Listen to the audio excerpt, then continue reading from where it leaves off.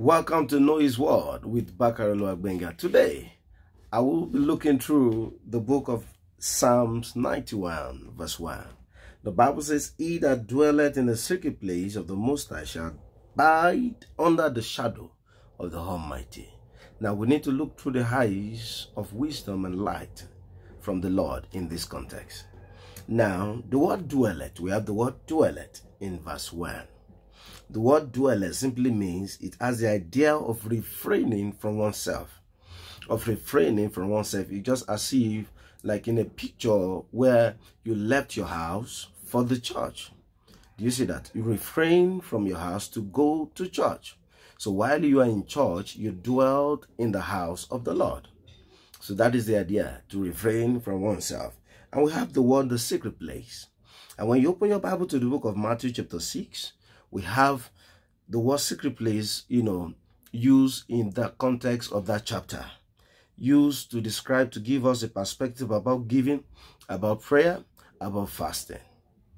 So the word secret place, having drawn an idea from, you know, the explanation of giving of hymns, that when you give hymns, don't let your next neighbor or your, your the one the person close to you know what you're doing. That your father in the secret place knoweth what you are doing. He recognizes what you are doing. So the idea of the secret place from Matthew chapter 6 simply means a place of continual fellowshipping with the Father without a need of being seen, without a need of being motivated by external forces.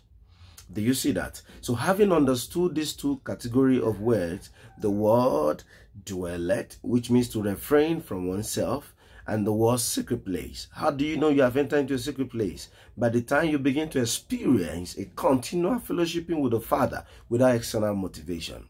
Whether it is good or it is not good, Jesus is still good. Hallelujah.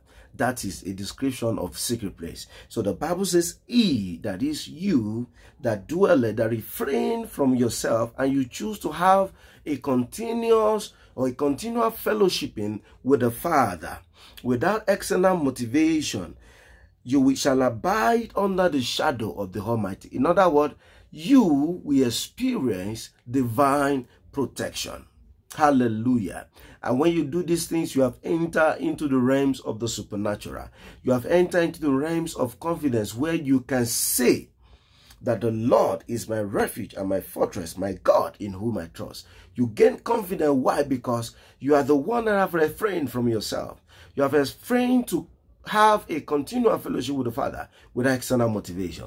So as believers in Christ, we are not supposed to be motivated by the good or bad. We're just supposed to be in continual fellowship with the Father just because the Father is good. Hallelujah. The word of the Lord has come to you today. There's someone watching me right now. I bring to you the word of the Lord.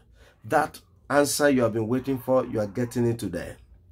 In the mighty name of Jesus. The Lord will reach out to you in his favor, in his kindness. So shall you experience this week in the mighty name of Jesus. I call it done in Jesus' mighty name. God bless you. I see you next time.